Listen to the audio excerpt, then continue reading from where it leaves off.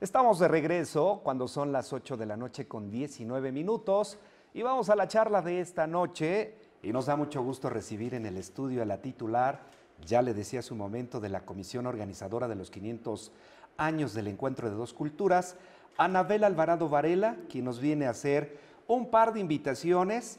El primero de ellos es el segundo coloquio internacional taurino y las noches mágicas de Tlaxcala allá en Palacio de Gobierno. Anabel, ¿cómo está? Como siempre, qué gusto saludarla, recibirla. Muy buenas noches. Mil gracias, Mario. Un saludo para ti, para todo el auditorio que nos ve en tu programa, en tu noticiero. Empezamos, ¿qué le parece por lo más eh, cercano? que es las noches mágicas de Tlaxcala.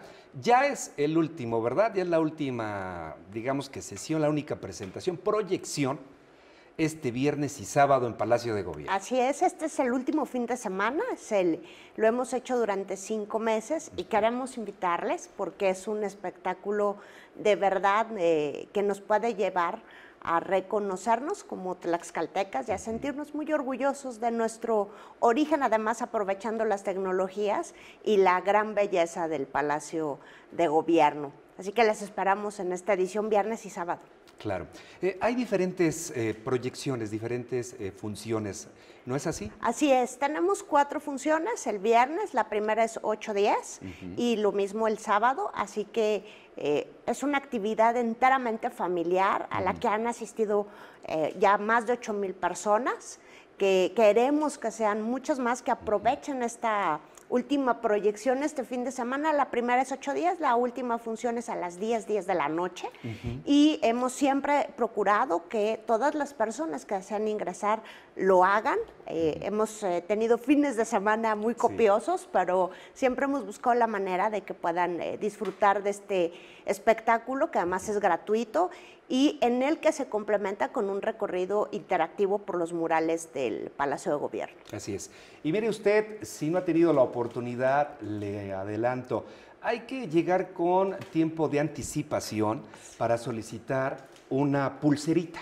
Es una pulserita que corresponde al horario de la función en cuestión. Así es. ¿Verdad? Sí. Y luego, bueno, pues a esperar, mientras está en espera, en la explanada de Palacio de Gobierno, hay algunas luego actividades ¿no? culturales, artísticas, para que los visitantes, tlaxcaltecas y a lo mejor también turistas, disfruten mientras ingresan a Palacio de Gobierno para conocer de la historia de nuestro estado. Así es, hemos aprovechado en estas noches mágicas para dar a conocer el talento de Tlaxcala. Hemos tenido solistas, grupos de rock, grupos de danzón de la tercera edad, camadas de huevos, la participación de muchos jóvenes que quieren eh, dar a conocer su talento y les hemos abierto siempre las puertas para que lo puedan hacer. Este fin de semana además va a coincidir el sábado con el encendido de las luces del Palacio de Gobierno, así, que tendremos un programa mucho más largo en estos dos días.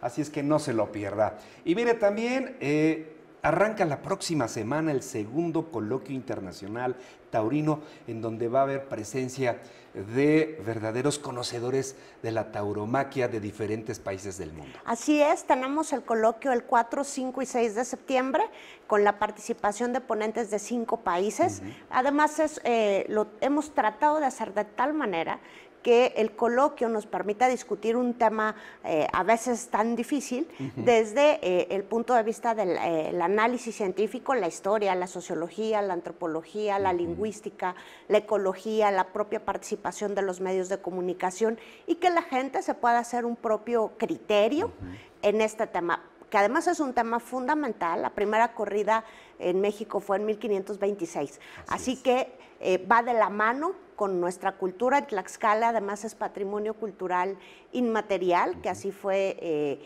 decidido en el 2012 y para nosotros pues también es parte de nuestra identidad y parte de nuestra cultura. Sin duda, sin duda. ¿Los lugares, los escenarios dónde serán? El día 4, en la inauguración, el arranque será en la Sala Miguel en Elira y el 5 y 6 en el Teatro Chicotencas. Les invitamos a que en nuestras redes sociales, en nuestro Facebook Tlaxcala 500 años, puedan conocer la programación completa de las conferencias magistrales y de las mesas de discusión que tendremos en estos tres días. Pues ahí lo tiene. ¿Ya notó usted? Anótelo muy bien, estas dos actividades, la primera este fin de semana y la siguiente a partir del próximo jueves. ¿Algo más, Anabel, que quiera usted Pues comentar? invitarles que sigan nuestras actividades, son actividades que están hechas para las y los eh, tlaxcaltecas, para, para que también la gente que viene fuera nos conozca y lo hacemos además con un profundo orgullo de ser tlaxcaltecas. Agradezco la visita esta noche de Anabel Alvarado Varela, quien es la titular de la comisión organizadora de los 500 años del Encuentro de Dos Culturas. Anabel, como siempre, qué gusto saludarla. Muchas gracias, Mario. Buenas noches. Buenas noches.